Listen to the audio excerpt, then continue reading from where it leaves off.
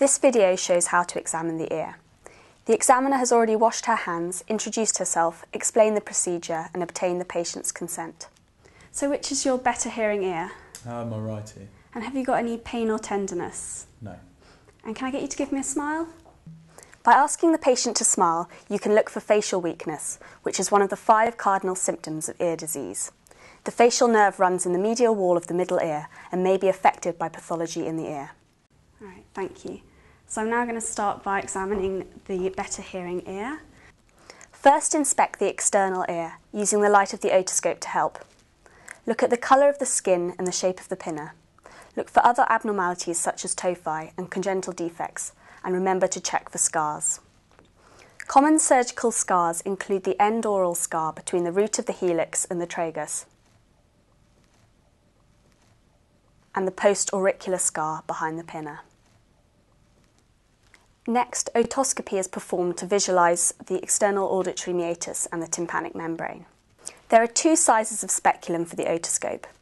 Choose the largest size speculum possible for the patient's ear canal in order to maximise the amount of light passing into the ear and to maximise your view of the tympanic membrane.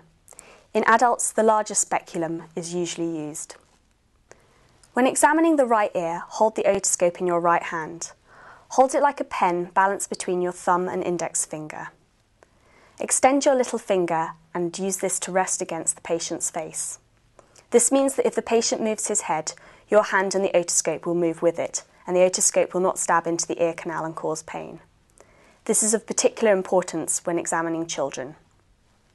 With your free left hand, pull the pinna gently upwards, outwards, and backwards to straighten the external ear canal to allow a better view of the tympanic membrane.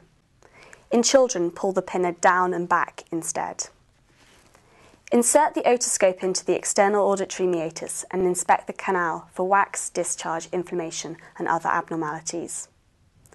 Gently proceed down the canal until the tympanic membrane is seen. Move the speculum around to examine the whole of the tympanic membrane and identify the normal landmarks. This is a normal right tympanic membrane.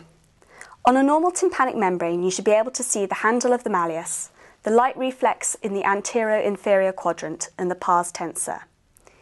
You should look superiorly to see the pars flaccida also. Gently remove the otoscope, continuing to observe the ear canal for any pathology that may have been missed on the way in. Repeat the examination on the other ear.